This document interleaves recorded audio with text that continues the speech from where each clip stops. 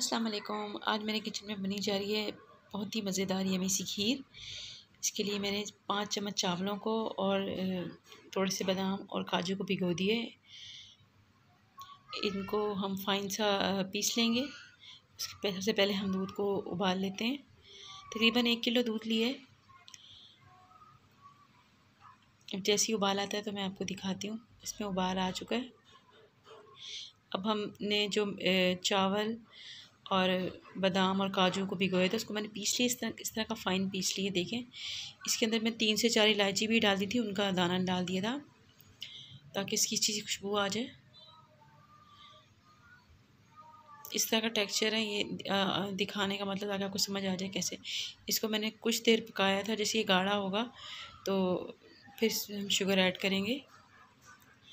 दूध को उबाल आने के बाद मैंने इसको डाला।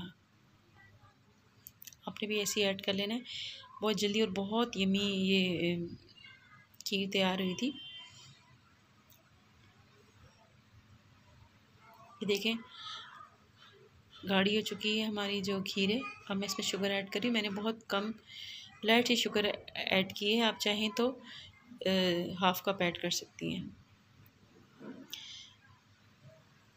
इसको मैंने हल्की आँच पे छोड़ी थी पकने के लिए। ये देखें, इसकी जो कंसिस्टेंसी है, ऐसी होनी चाहिए।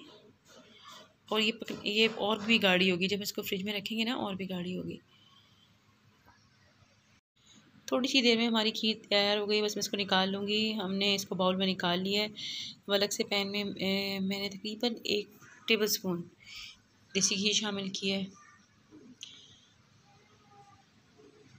अब इसमें मैं कुछ नट्स हैं जिनको मैं हल्का सा फ्राई करूँगी। बिल्कुल हल्का हल्का सा आपने इसको धीमी आँच पे करना है। हल्की सी खुशबू आएगी तो आपने इनको निकाल लेना है।